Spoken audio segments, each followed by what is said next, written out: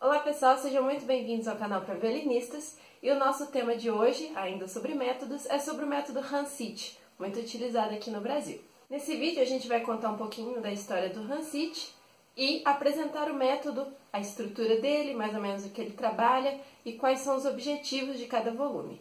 Ele nasceu em 1850 na cidade de Praga, atual República Tcheca, e ele morreu em 1922 em Leipzig, na Alemanha. Ele teve uma atuação tanto como violinista e violista, inclusive ele chegou a escrever algumas obras específicas para viola, além de ter trabalhado também como professor, regente e compositor.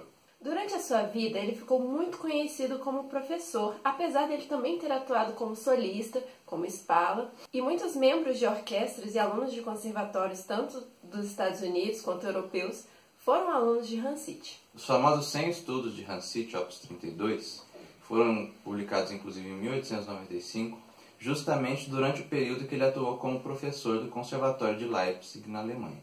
Apesar de ser mais conhecido hoje pelos seus 100 estudos, Hansit foi um compositor que escreveu muitas outras obras, inclusive para outros instrumentos além do violino, e também outras obras pedagógicas. Se vocês quiserem ter acesso ao que Hansit produziu, a gente vai deixar um link aí embaixo na descrição do vídeo para vocês clicarem e poder ver tudo que está disponível para download gratuitamente no MSLP.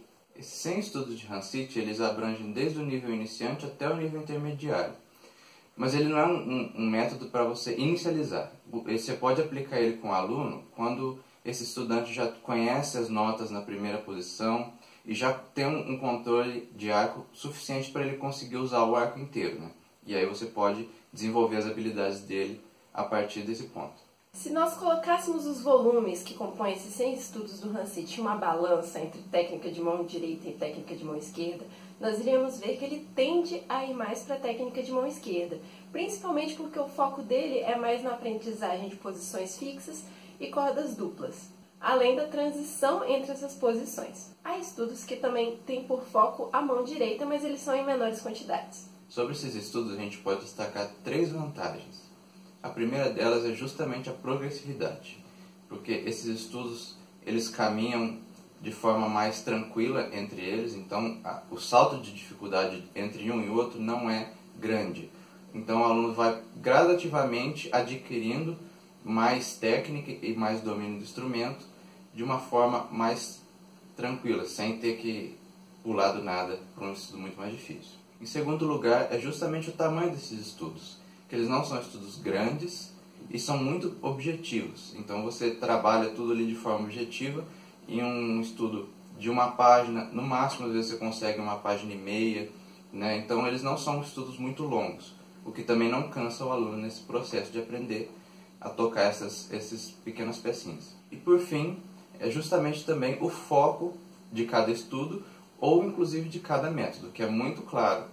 Né? Então você tem o objetivo desse estudo muito latente quando você olha para ele. Ah, por exemplo, esse daqui trabalha só posições fixas, ou então esse daqui está focando no estudo de um staccato preso aqui para o iniciante. Então você olha e é muito claro aquilo que o Hansit vai trabalhar com o aluno naquele momento.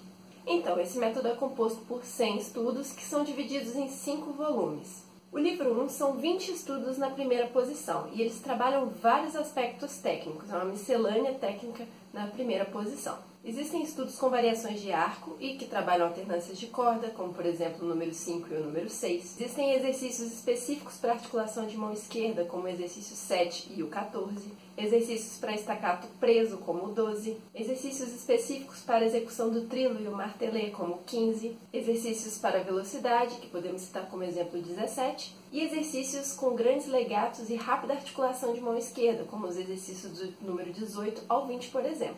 Segundo livro, também com 20 estudos, tem o foco de aprendizagem das posições fixas, e ele trabalha nesse livro desde a segunda posição até a quinta. Cada uma dessas posições conta com cinco exercícios, então você começa lá do exercício 21 ao 25, você trabalha a segunda posição, do 26 ao 30 você trabalha a terceira posição, do 31 ao 35 você trabalha a quarta posição, e do 36 ao 40 você trabalha a quinta posição. E o objetivo é justamente solidificar esse conhecimento das novas posições que são apresentadas ao aluno. E ele também introduz essas novas posições também de maneira progressiva. Então, os estudos iniciais de cada bloco de cinco estudos, eles começam com a figuração musical mais lenta, também com o ritmo, né, com o andamento do, do estudo mais lento, e gradativamente Hansite vai adicionando também dinâmicas, crescendo, diminuindo,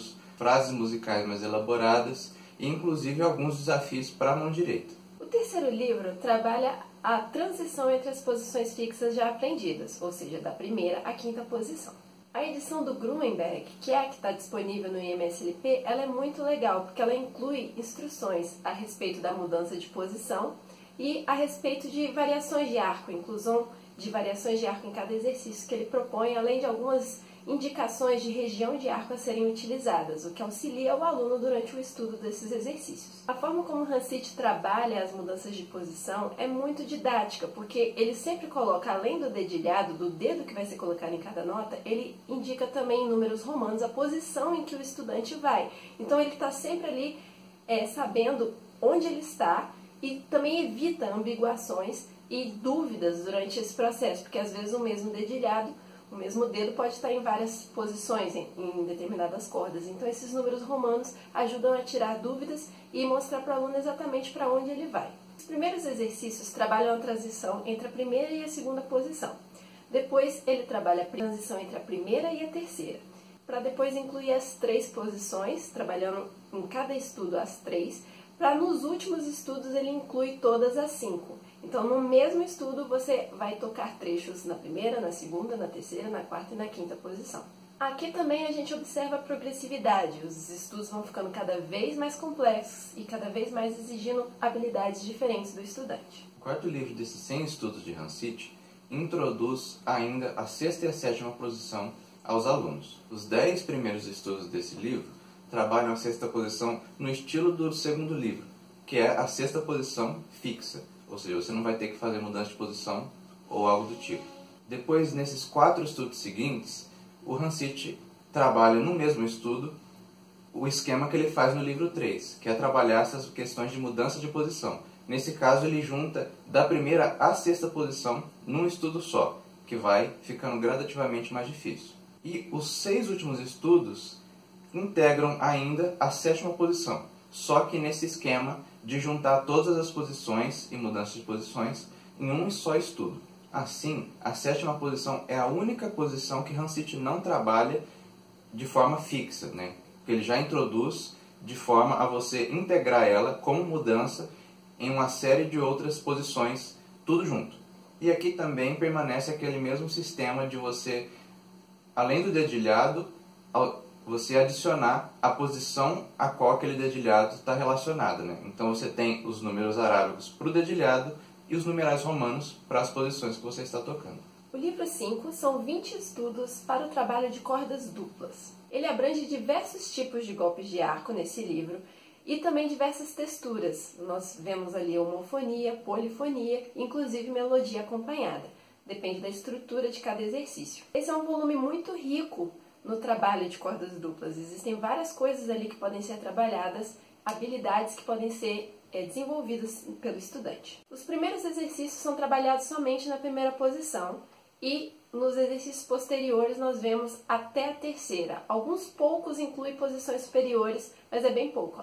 Ele, esse método ele se localiza basicamente entre a primeira e a terceira posição. O de uma maneira geral, a gente trabalha ele em concomitância com outros métodos, por exemplo, métodos de escala, métodos para exercício de mão direita, como a gente viu, né, ele prioriza esse lado da técnica de mão esquerda justamente pelo aprendizado de novas posições e mudança de posição e cordas duplas. Né? Então a gente também complementa o Hansite com outros métodos a fim de que o aluno tenha uma formação mais sólida e mais completa.